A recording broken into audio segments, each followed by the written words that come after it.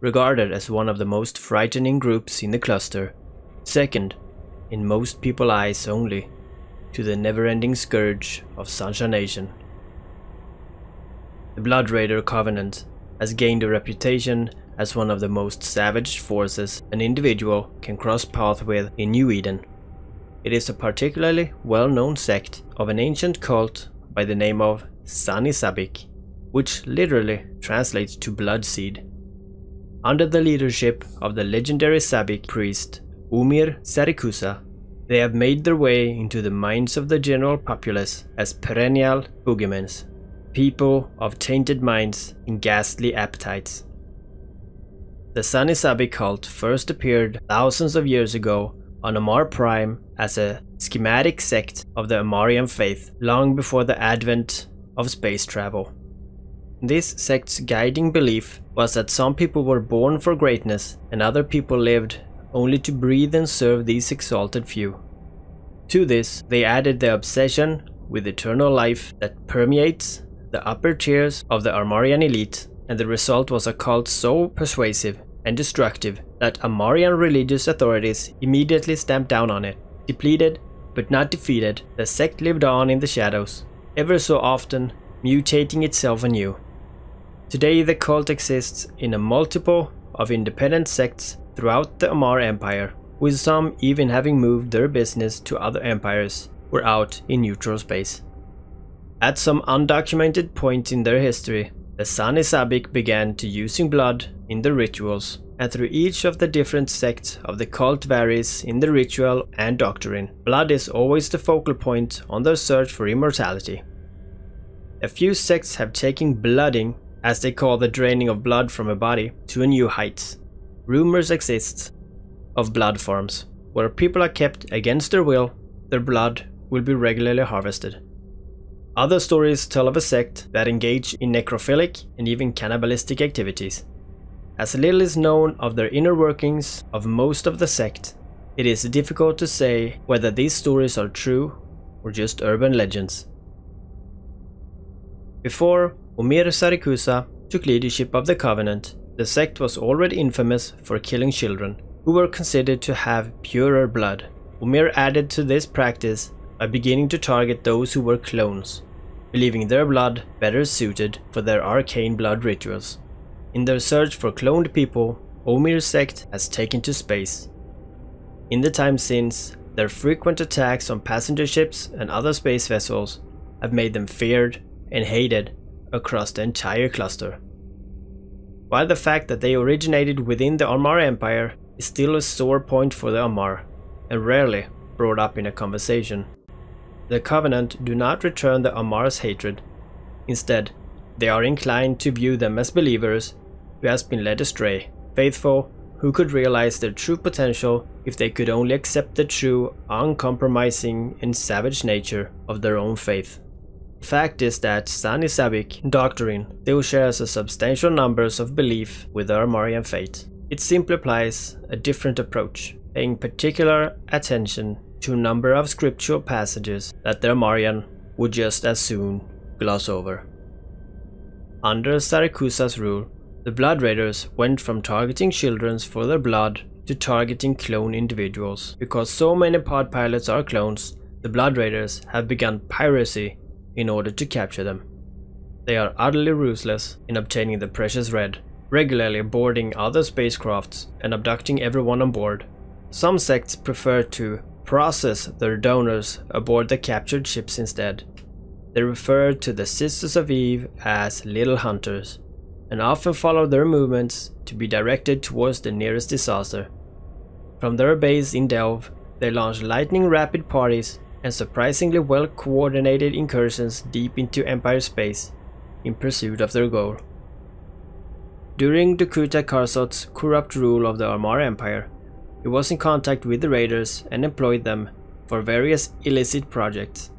Karsoth apparently approved for raider philosophy to the point that he sent them various Amarr emissaries, including Antar, following Jamyl's return. Karsoth fled to the Blood Raiders and hid among them, but he was later recaptured by the Amar Empire. The Blood Raiders were both terrified and enraged by the return of Jamyl Sarum and vexed that their dealings with Chamberlain Karsoth did not work. During the reign of Empress Jamyl, they appeared politically uninterested in the affairs of the Amarr Empire nor the heirs, at least to the casual eye. However, there was an upswing in Blood Raiders incursions along the Empire's borders in the Bleak Lands in devoid regions. Blood is a cornerstone of the Sani Sabik religion, and to them, just as potent as the seal of the imperial family is to the Amarr. It serves several uses among the Sani Sabik, mainly in medical processes that improves quality of life in a myriad of ways. It is also seen as a symbol of good health, strength, and moral endurance against corrosive philosophies. Those who follow the Sabik faith wear necklaces with golden vials. Many adorn the walls with the same golden vials, decorated with silver droplets. It should be noted that, as with many other religiously symbolic items, these icons symbolize not only an entity, but also an event. In the Sani Sabik's case, that entity is blood, which they worship and hold sacred, but they also have an occult application for the act of bloodletting itself. The golden vials around the worshipper's neck is thus a symbol that you will always be safe, because you have the symbolic catch of blood if it should ever be needed. It also reminds the wearer that the blood had to be taken from somebody else. This reinforces to the Sani Sabiks that they must always remain vigilant, active and aggressive in the pursuit of preservation of their faith. This does not mean that they see themselves as barbarians, but it's merely that, that their culture leaves a little space for flexibility, doubt, or second thoughts. The Sani Sabik universally believe in the Red God. He is particularly unforgiving of any transgression. Part of the reasoning behind the Red God's name is obvious, but he is not only associated with blood. The redness can symbolize anything from a sunrise to the heart of an explosion. He symbolizes life, rejuvenation, and strength in one hand, and the forces of destruction, anger, and vengeance, and death in the other. This multifaceted symbol is important to the Sanisabik as a culture because they are one of the new factions in New Eden, distinguished primarily by religion, and as such, the religion has to have the capability to suffice every part of their daily life. If it didn't, they would long since have a lost cohesion no doubt devolving and splintering into estranged, isolated cults. Their burial rituals include writing the names on the deceased in the Book of Dead. This register is a part of a burial ceremony that dates back over a thousand years. Though in modern times, the physical book has been replaced with an enormous digital archive which is stored at the headquarters of the Covenant. A condition of the entry of one's name into the Book of the Dead is seen as both a promise and a threat. The promise is that you will never be forgotten by the society to which you devoted your life. The threat, likewise, is that if one strays from the path, the crimes will affect both her own legacy and the lives of those she leave behind. While it's not a given that a particular crime will direct result in a devotee's death, if a crime is serious enough for the Sani Sabik to consider striking someone out of the Book of Dead, it can safely be assumed that the death is waiting for that individual in a very near nature. Family members of those who refused entry or struck from the Book of Dead may only have the most basic funeral service. Other benefits as fundamental as education and medical aid are refused. However, on the basis that they are tainted by association, as it usually leads to either self-imposed exiles or ignorable suicide. This type of shunning is applied only in extreme cases. The vast majority of Sani Sabik are not directly involved with the harvest of the blood, or bloodletting in general, or the hunting and sacrifice of cloned individuals. They are though aware that certain practices are carried out in the name of science and religion, but those things tend to happen far away to unnamed people, and the benefits, while vague and kept relatively secret, are reaped through the remarkable self-sufficiency of the Sani Sabik, who very rarely need to trade with outside entities. The Blood Raiders in particular spend relatively little, of their energies on raising crops and feeding their people, having found sustenance through the very fluid that gives them life.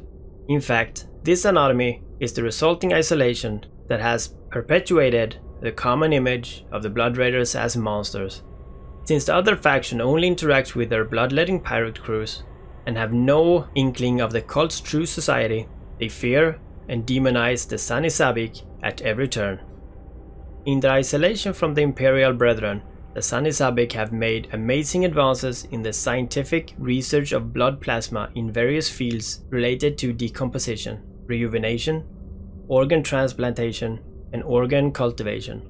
Over the centuries, they have developed an intimate knowledge of the workings of the human body, though unlike other factions, they have focused almost solely on biological aspects rather than delving into the arena of cybernetics. The Blood Raider Covenant, in particular, is a perfect example on how far they've come biologically, with the average citizen living well past over the age of 180, far from being naive or careless with their knowledge, the Covenant closely guards the secrecy of its medical advances. It is believed that aside from improving the nutrient and oxygen delivery of human blood, the Sanisabik has been able to vastly improve the human immune system, altering its characteristics to breed far more physiologically robust members of society through the manipulation of blood on a cellular level.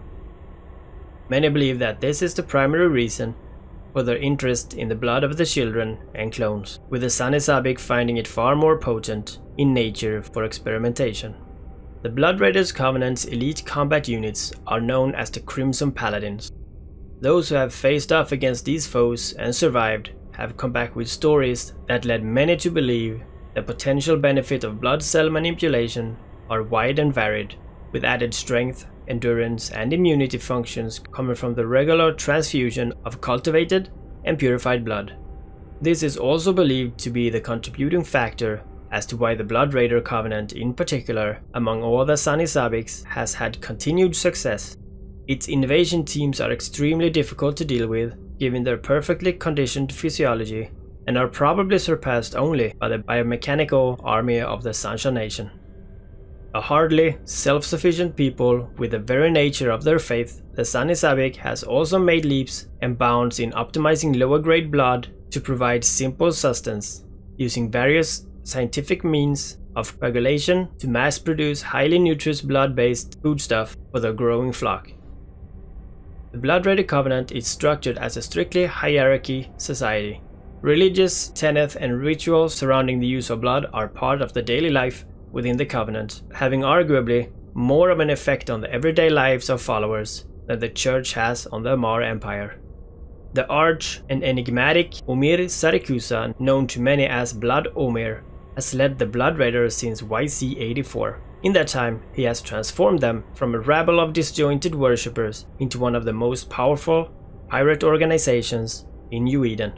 He remains to this day one of Concord's 10 most wanted and sits at the top of similar lists within the Amarr Empire and the Khanate region and the Ammatar Mandate. And behind him sits a trusted group of his closest allies, many of whom date back to his seizure of command a little over three decades ago. The vast majority of the organization revolves around the Bleeders, a force that serves a combination of law and religious enforcers, commanding respect from the general population of the Covenant. Bleeders possess a higher degree of freedom than any other under the Sanisabik's faith. While not a secret police as such, the Bleeders deal with every aspect of life among the Sanisabik, acting as undertakers, religious advisors, midwives, and priests with an overshadowing presence of quiet dignity about them. They are held in the highest confidence by members of the communities, though this is usually tempered by a very real aura of danger. While one may confess his problems and worries to Bleeder, or even petty sins, one would not be so bold as to reveal the nature of any serious crimes against a fate or another follower for fear of swift and brutal retribution. Leaders also take the name from one of their oldest responsibilities, ensuring that every follower donates blood on a regular basis in order to aid the rescue work. Those who do anger are bleeders by committing a crime or a great sin, more often than not finds themselves in various parts of themselves, used for live experimentation. As a society, the Blood Raider Covenant are fiercely proud of their independent way of life. Not unlike Sansha's Nation, they are a society that was left to fend for themselves and have found a way to thrive that made them the subject of hatred among the entire cluster. The Covenant are well aware of this and take a certain degree in perverse pride in it, although they do not truly consider themselves evil any more than anyone else does. The Sanisabik feel that they present good fortune was hard won against odds stacked very much against them. Among their people, the practice of identifying and defying savants has been a part of Sanisabik's life for over a thousand years but has in more recent times taken a backseat as the Blood Raiders in particular have winded their pursuits to acquisition, inspection, and manipulating of blood with becoming their core focus. The only remaining echoes of the launding of savants are in the near worship of Omir Sarikusa and in the unstated but general belief among the Sanisabik that each and every one of them is a savant of New Eden, having all in one way or another been benefiting from the blood rituals. And here are some notable characters, as always. Omir Sarikusa Born in late YC 47, Sarikusa belongs to a lineage that is a mixture of pure Amarr and Didi's ancestry. While his official story is littered with misdirection and shrouded in secrecy and mythology, it is known that he was born somewhere in the Bleak Lands region to a mother who was an high-class escort and that early on in his childhood he displayed many psychopathic tendencies. When he was 17, he murdered the son of a wealthy holder, realizing they could no longer protect him. His relative gave him money and sent him off to the lawless territories of the Bleak Lands, where the Amarrian authorities could not find him. The Blood Raiders found him instead. By the time he reached the age of 30, Sarikusa had been inducted into the innermost ranks of the Blood Raiders and was considered a high priest. They gave him control of his own ship, which he used to raid not only nearby imperial territories, but also other sects of the Sanisabik. His bloody and ruthless striking gathered him much loyalty and many followers among the cultists in the area. Under the direction of his superiors, Sarikusa eventually cowed these Sanisabik sects, forcing them to assimilate into the Covenant. To this day, he is revered among his followers, with millions swearing fealty to him. Although his coup, with a subsequent purge, drastically reduced the numbers within the Blood Raiders, it meant that everyone who remained was fiercely loyal to his leadership and his cause. Ahremen Arka A woman of pure Amarrian blood, born into the family of a wealthy holder in YC-44, Ahremen found himself in the Sanisabik faith at the young age of 22, swiftly defecting to the bleak lands to locate her kin. A leader of great intellect and tremendous cunning, she has for the past three decades remained a fiercely loyal and devoted follower of Sarikusa.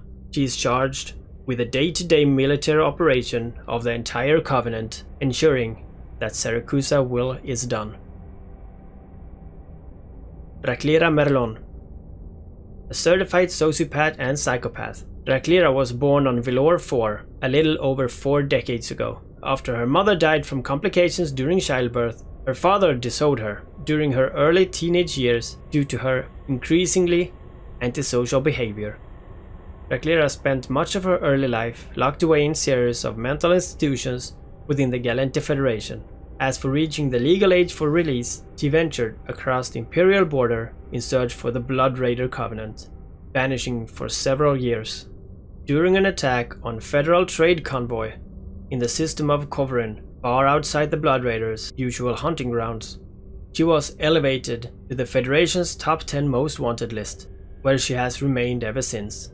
Unpredictable, utterly psychotic, and fanatically loyal to the Blood Raiders, she has proven time and time again to be a highly capable pilot who will not hesitate to attack anyone she believes to be a threat to the Covenant. Brazieri Giant Intaki blood, but Sabik to his core. Raisera was born on the Intaki homeworld in YC-49 and became embroiled in a life of crime during an early age. Part of a prison convoy traveled out of Intaki and destined for Willy 4. Brazier was spared slaughter in YC-71 due to his bizarrely pale appearance and extreme height. After being introduced into the Sanisabik's faith, Brazier revealed a twisted and highly sadistic streak that earned him the name the Sick Giant. After several numbers of years as a bleeder, he ascended to a position leading internal security operative for the Blood Raiders Covenant. Eventually, after siding with Sarikusa during his coup in YC-84, Brazier became the Blood Raiders Covenant's head of internal security. The perfect position for a man with such a cruel, machine-like disposition. Tyrei Namasuth Born on Oris, YC-77, as a member of minor royal family, Tyrei was cast out and exiled from her family at the age of 20 for the murder of her cousin during a minor family dispute.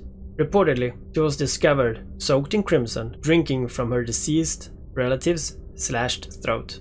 She lived in exile on the edge of the Bleak Lands for almost a decade, practicing the Sanisabik's faith in solitude, before coming personally involved with the Blood Raider Scouts and being indoctrinated into the Blood Raider Covenants a little over a year later. Today Tyrei serves as one of the most senior tactical commanders in the Covenant, directly under the command of Omir Sarikusa, Ahremen Arka. Described as a brutal, unforgiving commander who takes no prisoners, she is called on by the Covenant whenever an issue requires a hard, swift resolution. And I hope you guys enjoyed this, and if you did, just tell me that in the comments and I will keep this rolling on. And I'll see you guys again.